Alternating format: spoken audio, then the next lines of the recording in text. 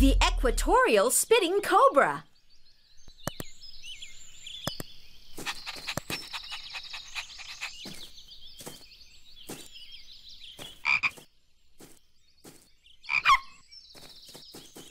Hi, everybody. My name is Leo. I am a junior ranger, and this is my puppy, Hero.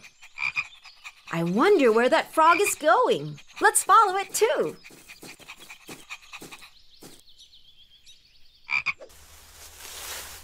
Careful, Hero. You'll scare the frog away. Huh? Something else is hidden inside the bush? Ah, a snake! Better keep a distance, Hero.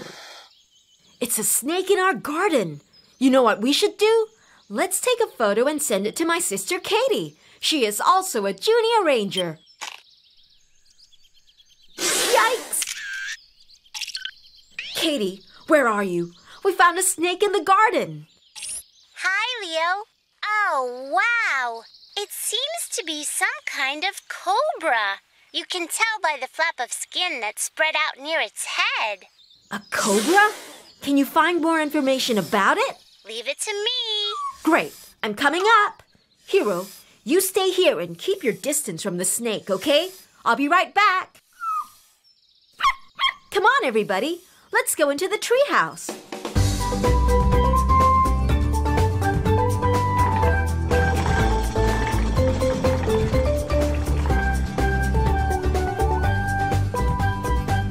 Hi, Katie. Did you find anything?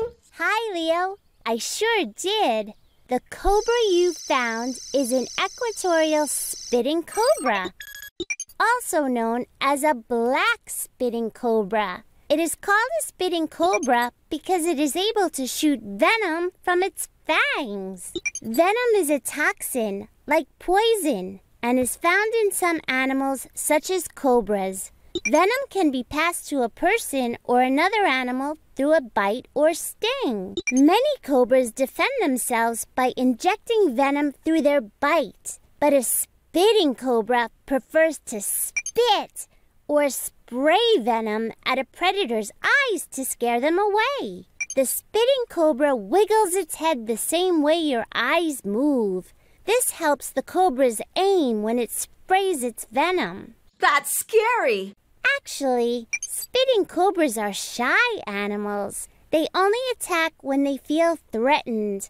Still, equatorial spitting cobras can shoot venom up to three meters away, so it's best to keep your distance. I'll make sure to remember that, Katie. Equatorial spitting cobras live in different forests in Southeast Asia, where they eat small animals like lizards, frogs, and rats. Hmm. I don't think it's safe for us to be near the spitting cobra. We should return the cobra to its natural home. Come and join us. That's a great idea, Leo. See you downstairs.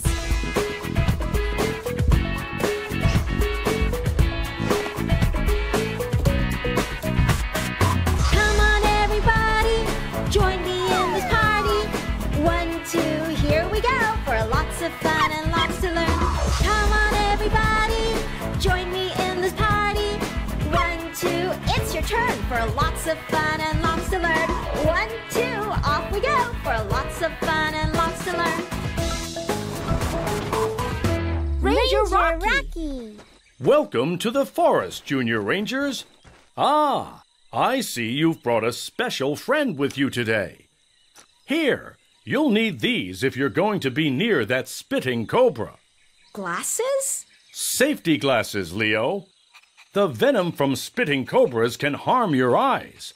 That's why it's very important to wear these glasses for protection. When threatened, the spitting cobra will aim to shoot its venom at an enemy's eyes. The venom that the spitting cobra sprays causes pain to the eyes and sometimes blindness. You will know when you've gotten too close to a cobra when it flares the flap of skin around its head and neck. This flap of skin is called a hood. A cobra will spread its hood when it feels threatened. I see. We'll be careful not to get too close to the cobra. We're trying to find the spitting cobra's home. Do you know where we should look? Spitting cobras like to live near water, in burrows or under rocks, where they can hunt for food. Good luck, Junior Rangers! Thank you, Ranger, Rocky. Rocky. Let's see what we can find. Here is an open field with some trees, and on this side are rocks and trees near a stream. Do you know where we should go? Over there is an open field with some trees, and over there are rocks and trees near a stream. So where should we go? There? That's right! We need to go to the place near a stream because spitting cobras can hunt for food near water. Let's go! What's wrong with the cobra? The spitting cobra is getting into a defensive pose. Why does it keep flicking its tongue? Spitting cobras have a very good sense of smell. They use their tongues to pick up scents in the air. Do you think it might have picked up the scent of a predator? they don't look very friendly. They are mongooses. It says here that the mongoose is the cobra's natural predator.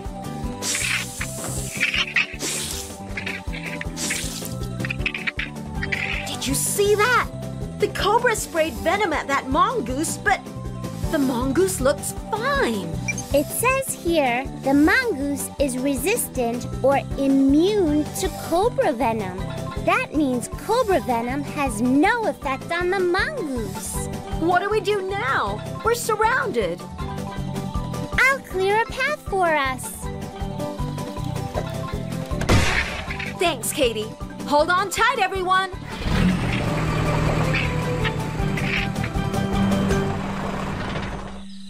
Phew, that was close. What should we look for now?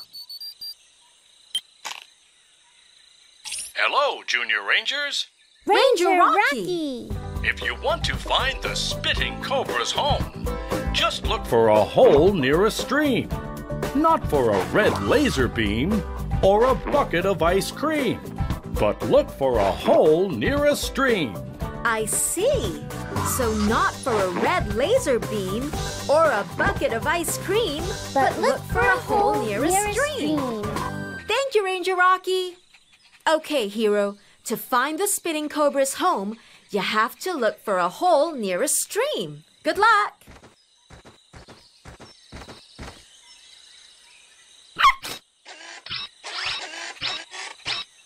Hero, there are a few dots on your radar.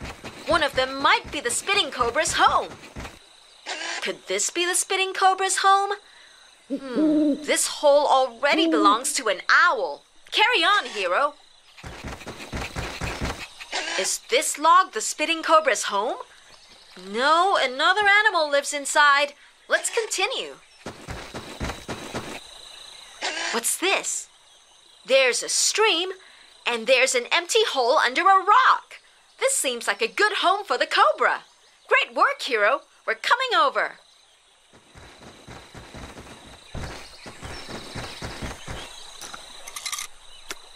Goodbye, little friend. We did it! We found the spitting cobra's home. Great job, everyone. Yay!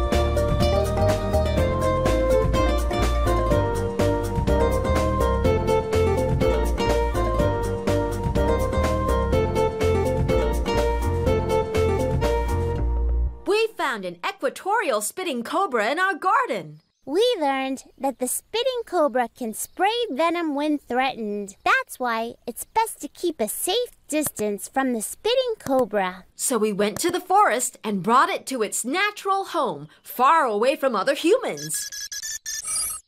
Good job, children! You did it! You are amazing wildlife rangers! Mission accomplished!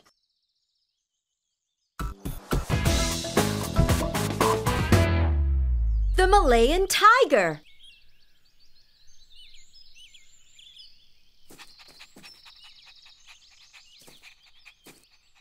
Hero! Where are you, Hero? Hi, everybody. My name is Leo. I am a junior ranger, and this is my puppy, Hero. You're just in time, Hero, Let's see who's stronger. I challenge you to a game of tug of war. You take this end of the rope, and I'll take this end. The first one to pull the flag past their line wins. Ready, hero? And go! Not bad, hero, but I'm not gonna lose. what? Ow! What are you? Are you some kind of cat? Those are some beautiful stripes on its fur. You know what we should do? Let's take a photo and send it to my sister Katie. She is also a junior ranger. Hold still, Kitty. Katie, are you there? We found a striped cat in the garden. That's not a cat, Leo. That's a tiger cub. Wow, a tiger cub? Can you find more information about it? Of course. Leave it to me. Great, I'm coming up. Hero, you stay here with our new friend. I'll be back soon. Come on, everybody. Let's go into the treehouse.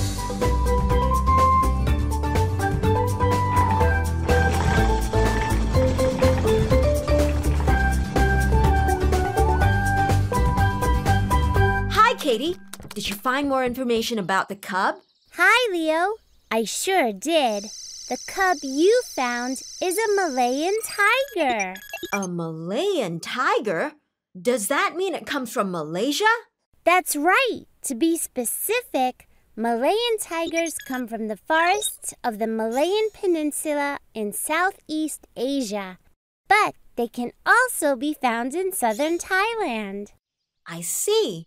So, what do Malayan tigers eat? Like all tigers, Malayan tigers are meat eaters. They usually feed on deer, wild boar, and sun bears. But when there isn't enough food, Malayan tigers sometimes attack people and farm animals. Because of this, many tigers are illegally hunted by people. Tigers are also hunted for their body parts, like their skin.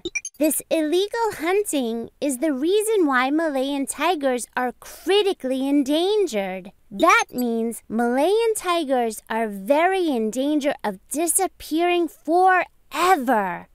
There are only about 250 Malayan tigers left in the wild.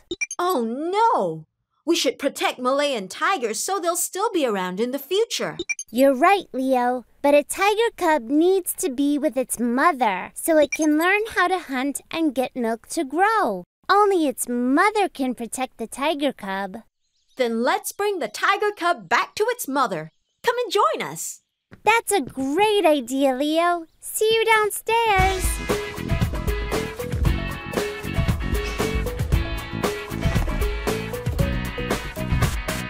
Come on, everybody, join me in this party. One, two, here we go for lots of fun and lots to learn. Come on, everybody, join me in this party. One, two, it's your turn for lots of fun and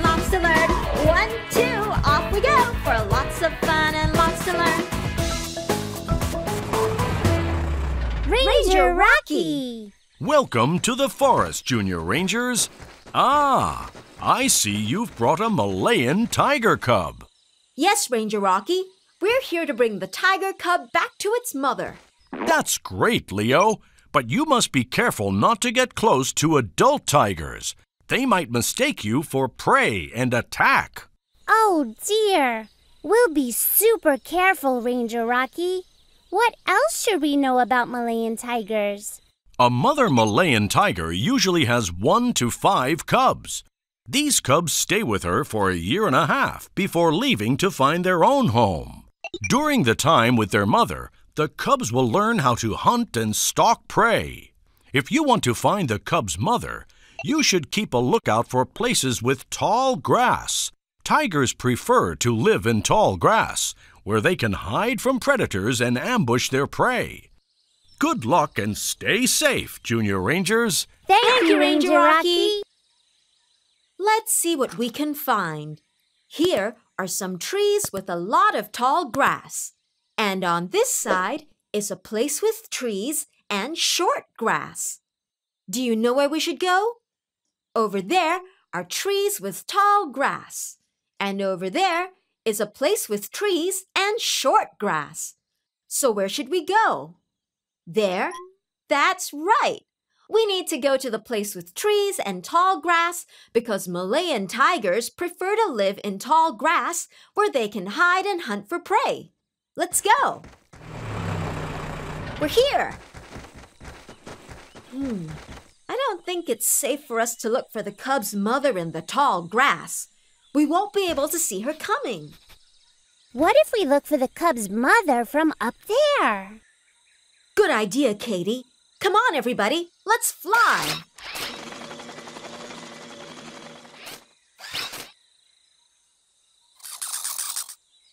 Tiger cub! Oh no! The tiger cub jumped into the tall grass. We have to find it. Where did the cub go? Leo, could the tiger cub be in there? Or maybe it's over there. The tiger cub might be in one of the grass patches, but we can't go into the grass to check. There might be predators in there. Hey, I've got an idea. I'll use this. Great idea, Leo. Let me try it. Tiger cub! I got you, little one. What should we look for now? Hello, Junior Rangers. Ranger Ranger Rocky! If you want to find the tiger cub's mother, just look for orange and black stripes. Not for bagpipes or for baby wipes, but look for orange and black stripes. I see. So not for bagpipes or for baby wipes, But look for orange and black stripes. Thank you, Ranger Rocky. Okay, hero, to find the tiger cub's mother, you have to look for orange and black stripes. Good luck.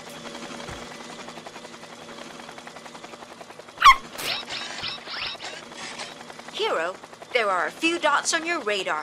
One of them might be the tiger cub's mother. Is that the tiger cub's mother? This animal has spots on its fur. It's a leopard. We need to find orange and black stripes. Let's move on. What's this? Those are stripes, but it's not a tiger. This is the squirrel from earlier. Let's keep looking. Could that be the cub's mother? This animal has orange and black stripes on its fur. It's the tiger cub's mother. Good work, hero. We're coming over.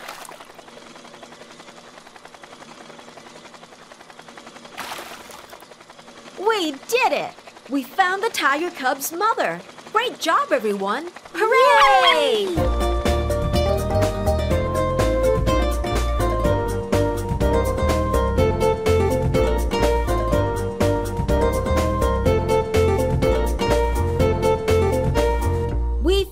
Malayan tiger cub in our garden. We learned that Malayan tigers are endangered and that tiger cubs need their mother to be protected. So we went to the forest and brought the tiger cub back home to its mother. Good job, children. You did it. You are amazing wildlife rangers. Mission accomplished.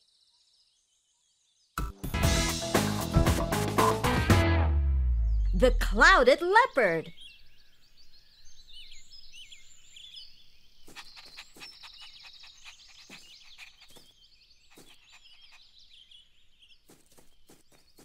Hi, everybody. My name is Leo. I am a junior ranger, and this is my puppy, Hero.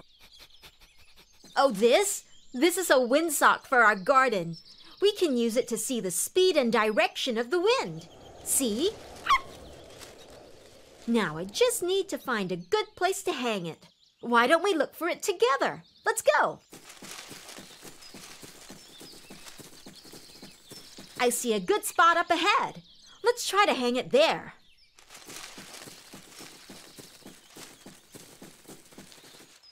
Huh? Hey, that's my windsock. I think it's some kind of cat. And look at those spots on its fur. You know what we should do? Let's take a photo and send it to my sister Katie. She is also a junior ranger. Hold still, little cat. Katie, are you there? We found a spotted cat in the garden that can climb trees really well. Hi, Leo. I've received the photo. That sure is a nice looking cat. Can you find more information about it?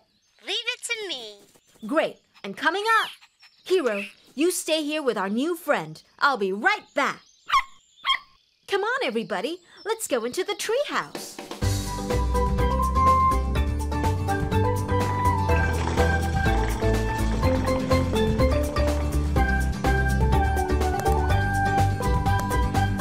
Hi, Katie. Did you find anything about the cat?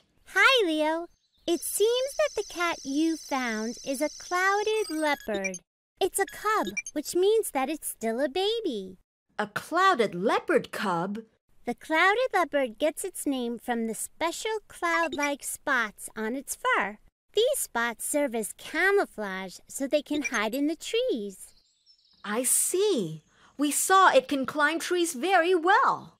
Clouded leopards are arboreal animals, which means they mostly live in trees. That's why they have large paws and sharp claws that help them climb. I see. Their flexible short legs and long tail help them balance in the trees.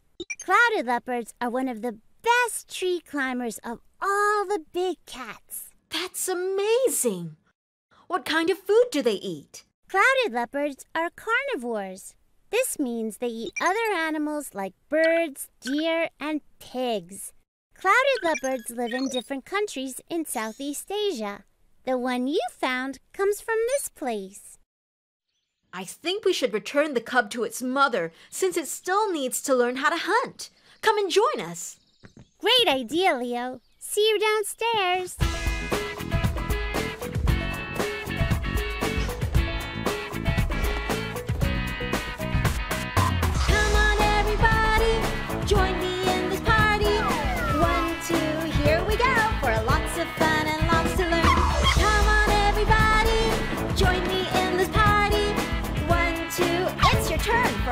Lots of fun and lots to learn. One, two, off we go for lots of fun and lots to learn.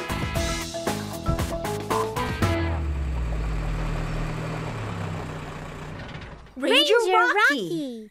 Welcome to the rainforest, Junior Rangers. Ah, I see you've brought a rare friend with you today. Why is it rare, Ranger Rocky? Clouded leopards are rare because not many of them are left in the wild, and they are in danger of disappearing forever. That's terrible. Why are they in danger of disappearing forever? They are endangered because their homes in the forest are cut down for human use. They are also hunted for their patterned fur. You should look for the cub's mother. She can keep it safe. Look for tall trees with lots of shade. That's where the clouded leopard hides. Good luck, Junior Rangers. Thank, you, Ranger, Rocky. Rocky. Let's see what we can find. Here are some short trees, and on this side are a lot of tall trees with leaves and shade. Do you know where we should go? Over there are some short trees, and over there are a lot of tall trees with shade. So where should we go? There? That's right. We need to go to a place with lots of tall trees with shade because clouded leopards prefer to hide in them. Let's go. It looks like we have to cross the river to get to those trees.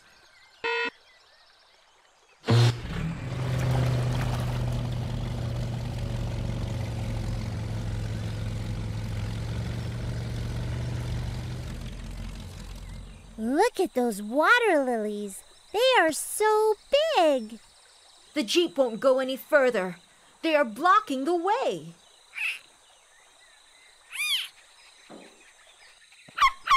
Oh no! The cub is going after that butterfly. We have to catch up before it gets lost. But how can we move forward? Look, Leo. Up by those trees. The cub! We have to save it, but we can't get there.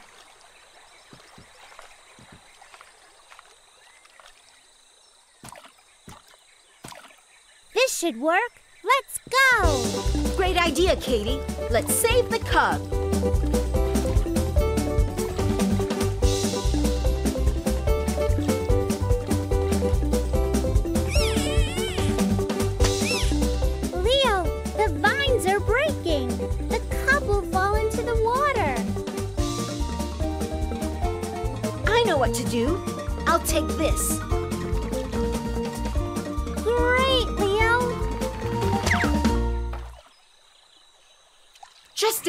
Time. What should we look for now? Hello, Junior Rangers. Ranger Rocky. Rocky. If you want to find the clouded leopard's mother, just look for rustling leaves. Not for naughty thieves or buzzing bees, but look for rustling leaves. I see. So not for naughty thieves or buzzing bees, But, look, for rustling, leaves. Thank you, Ranger Rocky. Okay, hero. To find the mother of the clouded leopard cub, you have to look for rustling leaves. Good luck.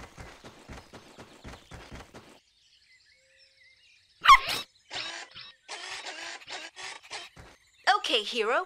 There are a few dots on your radar. One of them might be its mother. Did you hear that? Could it be the cub's mother? Hmm. This animal has stripes on its fur. It's a tiger. Let's continue. Did you hear some rustling leaves? Can it be the cub's mother? Yikes! That's a snake. Better keep looking.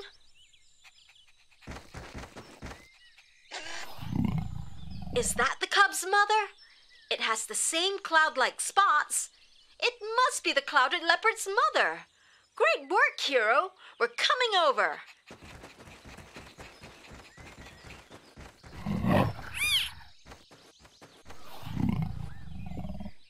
We did it! We found the clouded leopard's mother. Great work, everyone. Yay! Hooray!